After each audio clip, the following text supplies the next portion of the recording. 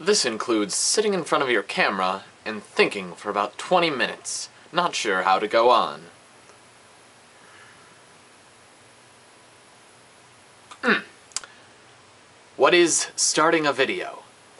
That's correct. Thanks, Alex. I'll take Get On With the Video for 300.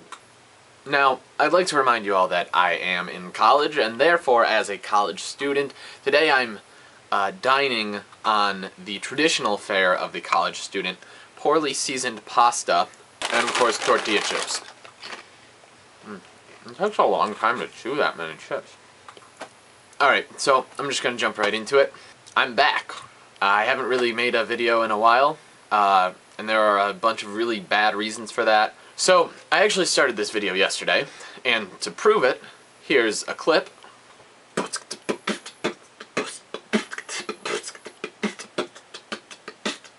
And while I do think that my hair did look fantastic in that video, uh, I didn't cover all of the things that I wanted to cover afterwards. I kept thinking of things that I should have mentioned, and I ended up getting cut short in the end, and that kind of contributed to that.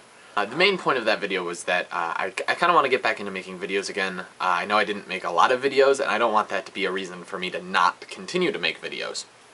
It's really fun for me to do. It's nice to see my things on the internet and see like people watch them, even though like nobody watches them. And it, it's it's also nice to just kind of sit in front of a camera and talk to myself for 20 minutes because I'm that egotistical.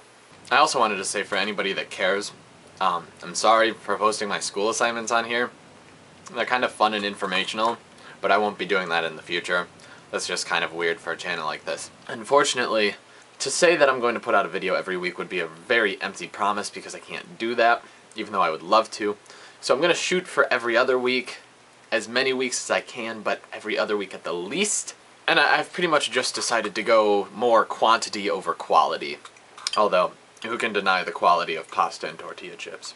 So, part of the reason that I stopped making videos was that uh, for about a semester there, my life, who am I kidding, a semester and a half, semester and three quarters, I'm still playing, uh, my life was taken over by this little game called League of Legends.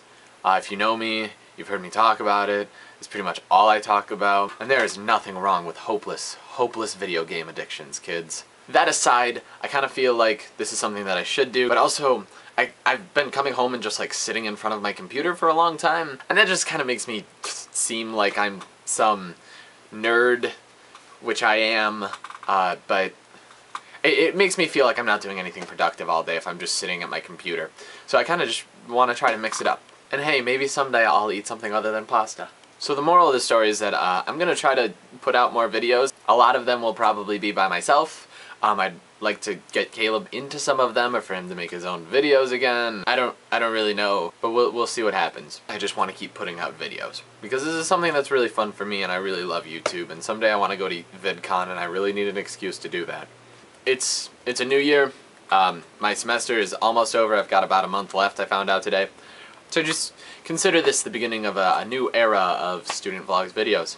Hopefully, hopefully, hopefully. So I really don't just want these rambly videos about some topic that I force myself to talk on and I just end up talking about the stupidest stuff for a while. So I'm kind of just gonna freeform it. And I don't mean to sound like mean or delinquent about this or anything, but I also might start like openly stealing things from other other YouTubers that I like. Like not what they talk about, but like their format and maybe their topics a little bit. So that I'm not just uh, talking about things that I'm going to do. Uh, I'll talk about this. Uh, yesterday, I finally got up the will to spend $25 uh, to help fund a Kickstarter that is already way like overfunded, but it's still awesome. That's no reason not to to fund. The Kickstarter, uh, I'll put a link in the description.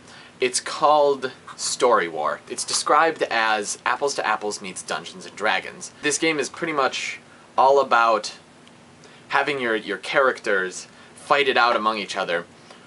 But instead of like battling the numbers, you have to out-argue the other person, and you have to tell a story about the battle that happens, and whoever wins in that story is the winner of the round. I think that's really great, and I think it's really cool for nerdy, English-loving people like me who like to tell stories, which is part of the reason that I'm making videos again, if you would call this a video. It's fantastic for 25 if you donate $10, you get a PDF copy of the game. If you donate $25, you get a physical copy, and there's it scales upwards. You get more rewards the more you donate. And it's just, it's it's really awesome. Hank Green talked about it on his uh, Hank Games channel a while back.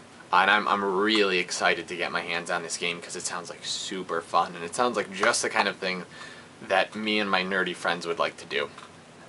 because we've kind of, uh, we, we got a little bit tired of being dicks to each other playing Munchkin.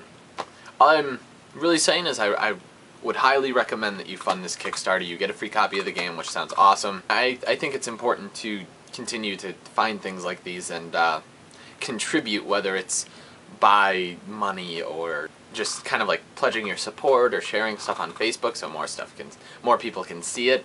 Uh, I've rambled on here for uh, a good chunk of time. Uh, I'm almost out of pasta. Correction, I'm out of pasta. With that, I'm just gonna make this not awkward and say thank you for watching, and uh, I'll see you next time. And there will be a next time.